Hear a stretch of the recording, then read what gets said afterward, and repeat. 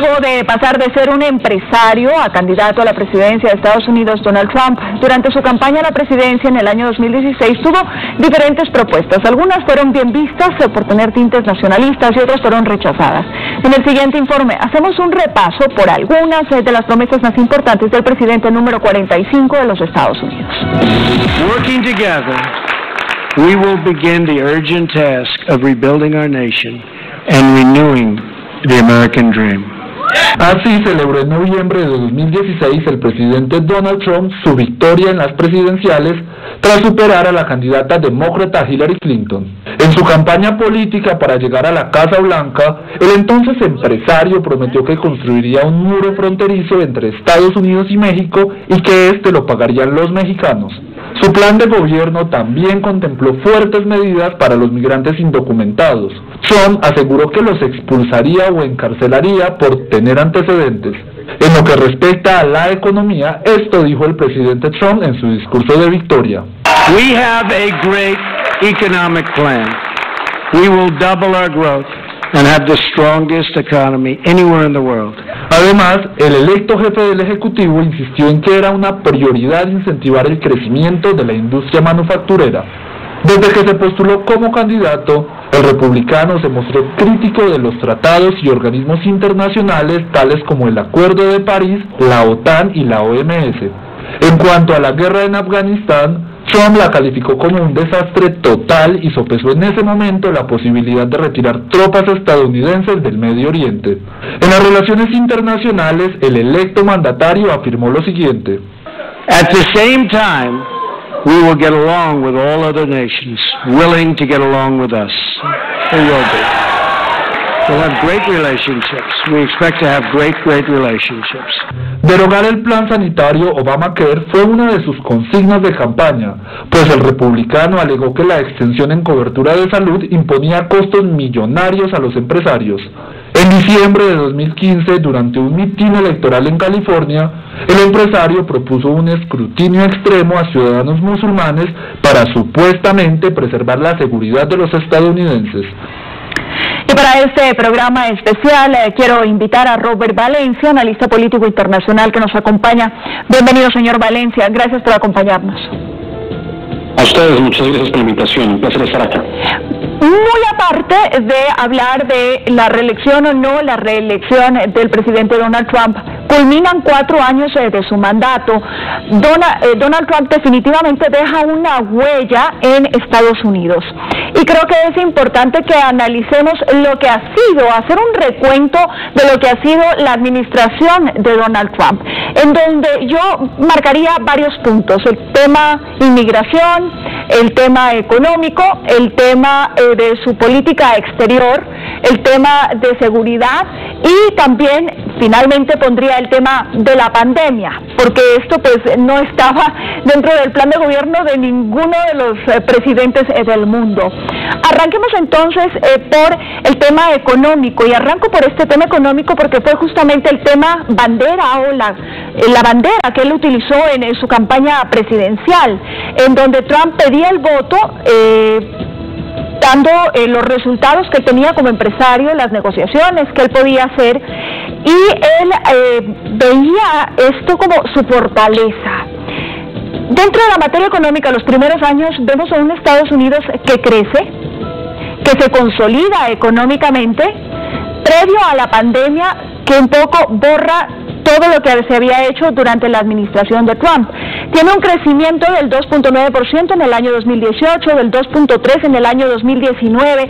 Las tasas de desempleo bajan de números históricos. Esto podríamos eh, decir, si no contamos la pandemia, que fue un logro dentro de la administración. Sí, efectivamente. Eh, obviamente hay mucha discusión, eh, mucho debate en cuanto a la influencia que tuvo Donald Trump en el, en el sostenimiento de la economía. Por supuesto, eh, Donald Trump recibió eh, una economía en crecimiento desde la administración de Barack Obama y eso hay que decirlo. Obviamente hay mucho debate entre qué tanta participación tuvo Donald Trump, pero la verdad es que esa, es así. Él mantuvo un crecimiento económico durante sus tres años y medio de gobierno hasta que llegó la pandemia, como tú bien señalas. Y lo que vemos con la pandemia es un desencadenamiento de situaciones en Estados Unidos que aunque ya estaban sobre la mesa, y hablo de todos los problemas que tiene este país en el, ámbito socioeconómico, pues se exacerbaron en este gobierno, porque con la pandemia vimos, por ejemplo, que la economía realmente, los trabajos que existían, pues eran trabajos que no eran de calidad realmente. Y yo creo que eso es una de las cosas que siempre se ha discutido cada mes cuando, por ejemplo, sale este reporte eh, de la Oficina de, Relaciones Laborales aquí en Estados Unidos, en donde se habla de un crecimiento económico y siempre se habla de la bolsa de valores, que eso fue algo que él siempre resaltaba por medio de su cuenta de Twitter, pero al llegar la pandemia precisamente, pues se derrumbó la economía, se derrumbaron los trabajos, el sistema de salud completamente colapsado, lamentablemente, y todo esto, ¿por qué? Porque el presidente no logró tomar cartas en el asunto cuando él debía. Yo me atrevo a señalar que si el presidente, porque como tú bien lo señalas, yo creo que ningún país estuvo preparado para esta, para esta pandemia, es decir, obviamente hubo países que lograron sortear el tema de la pandemia mejor que otros. Así que no se le puede culpar a Donald Trump de esto porque él no fue el creador de este virus.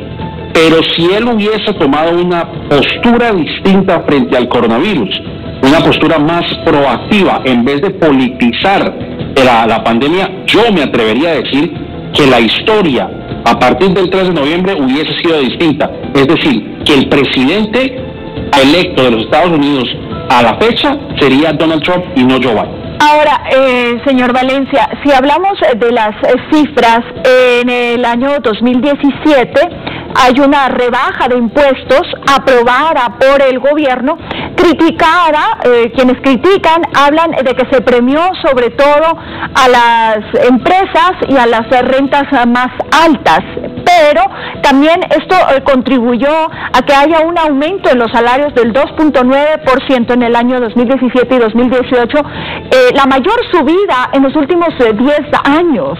Esto se reflejaba dentro de las cifras, otro de los pilares también fue los aranceles impuestos a las importaciones y la renegociación de muchos eh, de los acuerdos eh, comerciales que se dieron durante la administración Trump.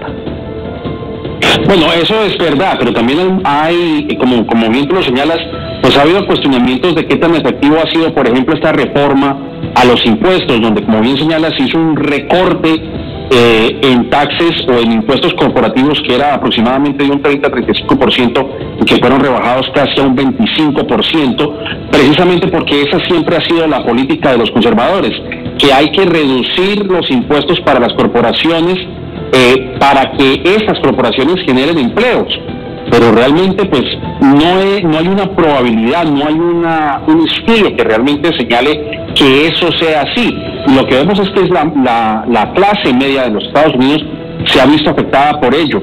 Y no sabemos qué vaya a hacer el presidente electo Joe Biden respecto a esta medida, pero sí deja muchas interrogantes respecto al tema de la, de la reforma eh, de la reforma de impuestos que fue celebrado obviamente por los republicanos. Ahora, en el tema de, las, de los aranceles, pues... Sí. Eh, ¿Cómo, ve usted, ¿Cómo ve usted la negociación eh, durante todos eh, durante estos cuatro años de mandato del presidente Donald Trump? porque él ha hecho varios ajustes, ha renegociado acuerdos comerciales y pues dentro de, de, su periodo económico no podemos descartar uno de gran importancia y gran relevancia que fue la guerra comercial con China.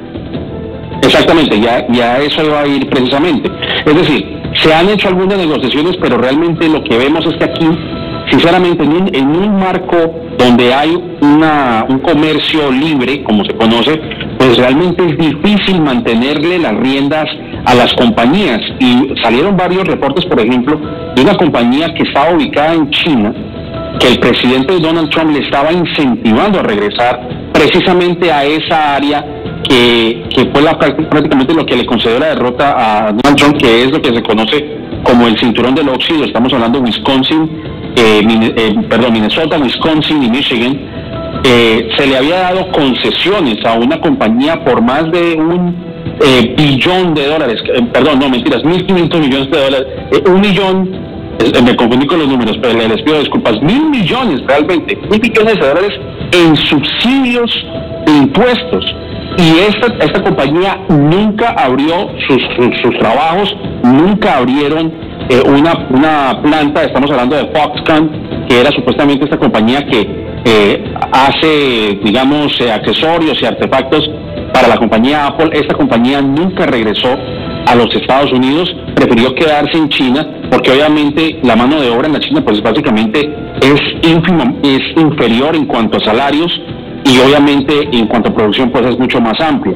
Y en el tema de las de los aranceles para los eh, campesinos, pues los campesinos se vieron afectados y ¿qué le tocó hacer a Estados Unidos? Sacar de sus cofres, de los cofres nacionales, para eh, subsidiar a estos campesinos precisamente porque la guerra arancelaria con la China pues realmente no fue un éxito lamentablemente. Eh, y yo creo que eso es uno también de los lunares de esta administración que va a tener que analizar la próxima la próxima administración de, Joe Biden y cómo sanear los, los libros, sanear eh, la, digamos el erario público, porque realmente Estados Unidos sí se vio muy afectado por esta, esta guerra arancelaria con China y con otros países eh, del globo.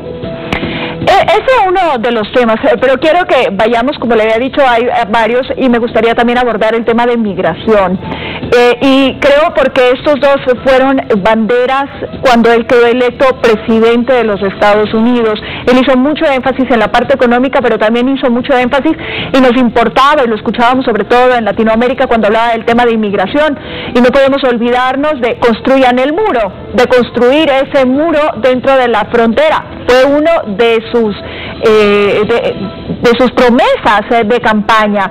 Y desde el momento en que arranca la presidencia, él establece una máxima para la inmigración, un discurso para disuadir la entrada de cualquier personaje ajeno que se va eh, transformando con el paso de su administración. Y llegamos incluso a ver la prohibición de entrada o la restricción de entrada a Estados Unidos de ciertos países, eh, sobre todo de países musulmanes, países islamistas. Eh, ¿Cómo podría definir usted el tema migratorio los cuatro años de gobierno del presidente Trump?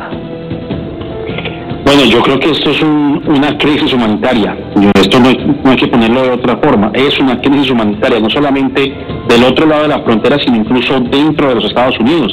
Lamentablemente esta administración lo que ha hecho es, eh, por medio de compañías privadas que manejan estas prisiones en algunos estados, hemos visto vejámenes contra la dignidad del inmigrante. Lo que vimos, por ejemplo, en Georgia, eh, en esta cárcel manejada por eh, lo que se conoce como ICE, que es la organización encargada de aplicar la ley frente a temas migratorios y de mantener el control de, la población migratoria irregular en Estados Unidos, lo que vimos en ese lugar, por ejemplo, fue una práctica digna de la eugenesia, que era remover, eh, digamos, los úteros de muchas mujeres en ese lugar, a practicar histerectomías eh, forzosas, lo mismo que ocurría también en, California, donde se usaba eh, un pesticida, un desinfectante, perdón, en, en, algunos de esos centros, supuestamente para el control del COVID, y muchas de esas personas, además de haberse enfermado de COVID, también empezaron a desarrollar efectos secundarios por el uso de este, de este desinfectante,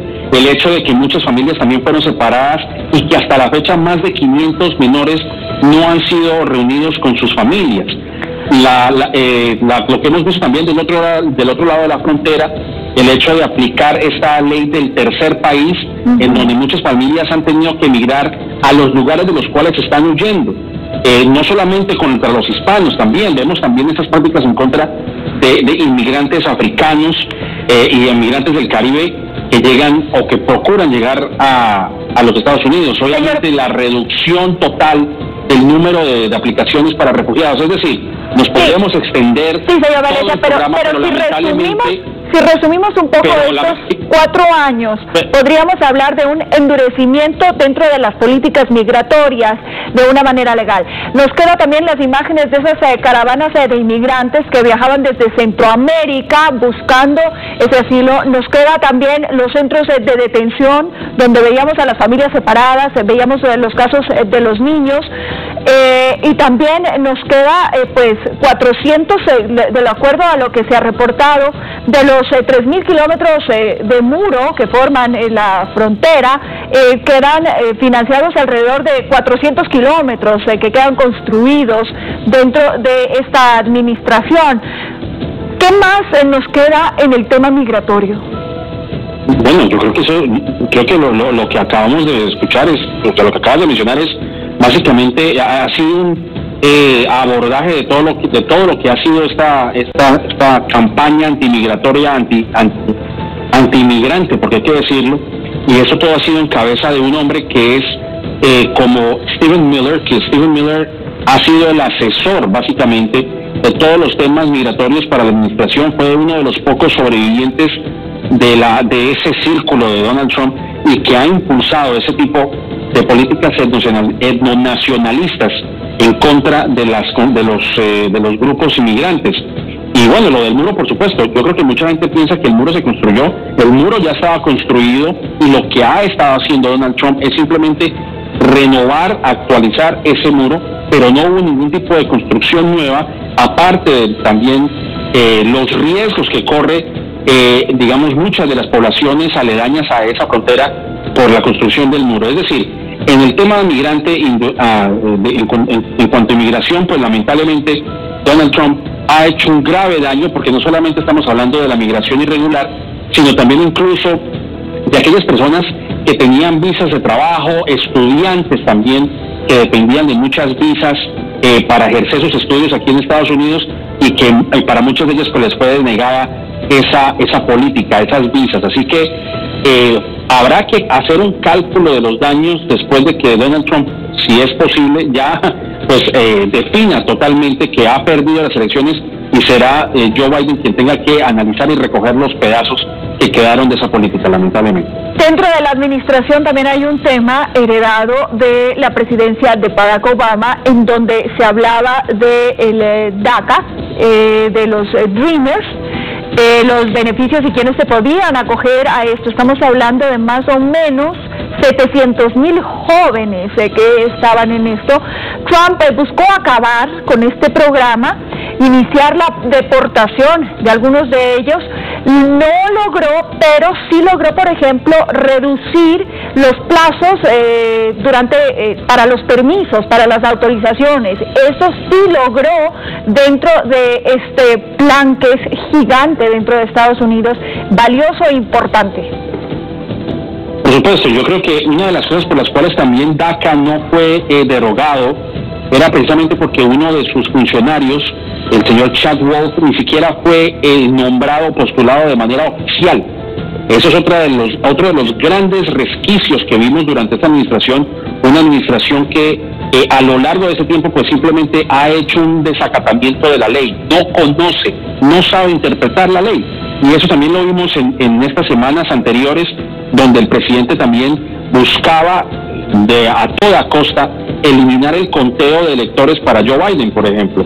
Y, esa es una forma de, digamos, una característica de esta administración, el de no saber interpretar las leyes. Y lamentablemente esta retórica antimigrante pues ha calado dentro del electorado porque las mentiras, lamentablemente la desinformación que proviene de la Casa Blanca pues fue, eh, tuvo una recepción dentro de aquellos 70 millones de votantes que ejercieron su derecho al voto y que y querían escoger a, Trump como presidente el pasado 3 de noviembre. Y es que hay un hecho que es importante mencionar acá. Muchos creen que DACA o los recipientes o las personas que han recibido eh, este, este, esta ayuda de, parte del gobierno federal son, son, digamos, como una carga, y no son una carga realmente. Estas personas son profesionales. Realmente el sentido de DACA es precisamente permitirles a estos estudiantes a que no solamente tengan la oportunidad de adquirir un título universitario, sino que también sean ciudadanos productivos que pagan impuestos. Lo mismo ocurre con los eh, trabajadores indocumentados en Estados Unidos, que hay que decirlo, fueron la columna vertebral que sostuvo este país en medio de una pandemia. Muchos eh, jornaleros, muchos campesinos son hispanos, no reciben los beneficios que merecen y aún así estas personas pagan impuestos. Y yo creo que esa es una de las paradojas más grandes de esta administración, porque mientras estos ciudadanos productivos que no tienen documentos pagaron impuestos, tenemos un presidente saliente que no pagó impuestos y que lo único que pagó en sus eh, últimos 10, 15 eh, años fueron 750 dólares de, retribución al erario público, lo cual es otra de las grandes paradojas que nos deja este gobierno también. Señor eh, Valencia, yo le quiero agradecer mucho por abordar estos eh, dos temas. Eh, yo creo que es un poco el hacer el análisis de lo que ha sido la administración. Estamos llegando al fin de la administración Trump y creo que también es importante hacer un análisis de qué fueron esos cuatro años. si bien nos hemos concentrado últimamente en ver si ganó o no la reelección, la confrontación que hay con Joe Biden, creo que es importante hacer un análisis de qué pasó durante esos cuatro años cuáles son los aciertos, cuáles son los desaciertos eh, que cumplió el presidente Donald Trump. Le agradezco mucho por haber estado con nosotros. A ustedes, muchas gracias por la invitación. Gracias, Robert Valencia, analista político internacional. Hablábamos de los dos eh, primeros eh, temas, como los hemos clasificado, de la parte de inmigración y de la parte económica. Nos vamos a ir a una pausa. Cuando regresemos, seguiremos haciendo un análisis de lo que fueron los cuatro años de la administración Trump. Hablaremos sobre medio ambiente, también estaremos hablando sobre su política exterior y lo que pasó Gusto na pa niya.